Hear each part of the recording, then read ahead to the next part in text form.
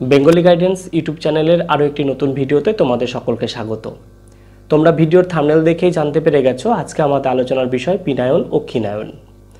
পিনায়ন ও ক্ষীণায়ন সম্পর্কে আলোচনার আগে আমাদের অল্পপ্রাণ ও মহাপ্রাণ বর্ণ সম্পর্কে সংক্ষেপে কিছু আলোচনা করা দরকার।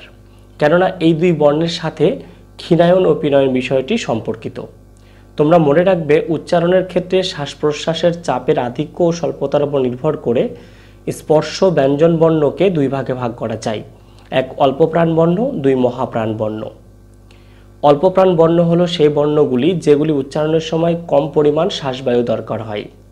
প্রতি বর্গের প্রথম ও তৃতীয় বর্ণ হলো অল্পপ্রাণ বর্ণ। আর যে বর্ণগুলি উচ্চারণের সময় বেশি পরিমাণ শ্বাসবায়ু বা প্রাণবায়ু দরকার হয়, সেগুলি হলো মহাপ্রাণ বর্ণ। প্রতি বর্গের দ্বিতীয় ও চতুর্থ বর্ণ হলো মহাপ্রাণ বর্ণ। এবার আসা যাক আমাদের আজকের মূল আলোচনায়। লাল রঙের বোতামটি টিপে বেঙ্গলি গাইডেন্স ইউটিউব চ্যানেলটিকে সাবস্ক্রাইব করে এবং পাশে থাকা বেল আইকনটি প্রেস করে নোটিফিকেশন অল করে দাও, যাতে ভিডিও ছাড়া মাত্রই সবার আগে তা তোমাদের কাছে পৌঁছে যায়। পিনায়ন। পিনায়ন কথার অর্থ হলো বড় বা স্থূল। অল্পপ্রাণ বর্ণ মাঝে মাঝে মহাপ্রাণ বর্ণের মতো উচ্চারিত হলে তাকে পিনায়ন বলে। এই পিনায়নের অপর নাম হলো মহাপ্রাণী ভবন। মহাপ্রাণীকরণ, মহাপ্রাণিত। কয়েকটি উদাহরণ দিয়ে বিষয়টিকে বোঝানো যেতে পারে। যেমন, কাঁঠাল থেকে কাঁঠাল। দেখো, এখানে ট ছিল অল্প প্রাণধ্বনি, কিন্তু ঠ হচ্ছে মহাপ্রাণধ্বনিতে পরিণত হয়েছে। কাক থেকে কাক। দেখো, ক অল্প প্রাণধ্বনি, খ মহাপ্রাণধ্বনিতে পরিণত হয়েছে।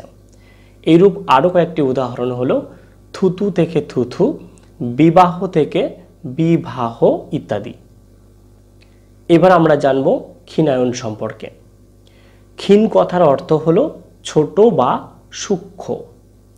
মহাপ্রাণ বর্ণগুলি মৌখিক বাংলায় প্রায়ই অল্প প্রাণ বর্ণের মতো উচ্চারিত হয়। তাকে ক্ষীণায়ন বলে। তোমরা মনে রাখবে ক্ষীণায়নের অপর নাম হল অল্প প্রাণী ভবন অল্প প্রাণীকরণ, স্বল্প প্রাণীকরণ। কয়েকটি উদাহরণ দেখে নেওয়া যাক। যেমন, বাঘ থেকে বাঘ।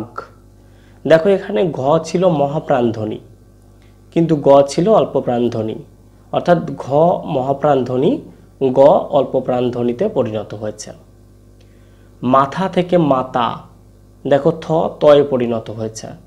চোখ থেকে চোখ, খ মহাপ্রাণধ্বনি, ক অল্প প্রাণধ্বনিতে পরিণত হয়েছে। এইরূপ আরেকটি উদাহরণ হলো কাঠ থেকে কাঠ। দেখো, ঠ ছিল মহাপ্রাণধ্বনি, কিন্তু ট অল্প প্রাণধ্বনিতে পরিণত হয়েছে। তাহলে আমরা বলতেই পারি, পিনায়ন ও ক্ষীণায়ন একে অপরের বিপরীত। এদের মনে রাখার একটি শর্টকাট টেকনিক রয়েছে। তোমরা মনে রাখবে, পিনায়ন হলো অল্প প্রাণ থেকে মহাপ্রাণ বর্ণ, আর ক্ষীণায়ন হলো মহাপ্রাণ থেকে অল্প প্রাণ বর্ণ।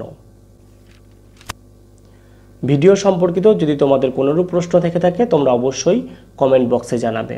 আর ভিডিওটি যদি ভালো লেগে থাকে, অবশ্যই বন্ধুদের মাঝে অনেক অনেক বেশি শেয়ার করো। দেখা হচ্ছে পরবর্তী ভিডিওতে, ততক্ষণ তোমরা ভালো থাকো, সুস্থ থাকো। এই চ্যানেলকে ভালোবেসে চ্যানেলের সাথে জুড়ে থাকো।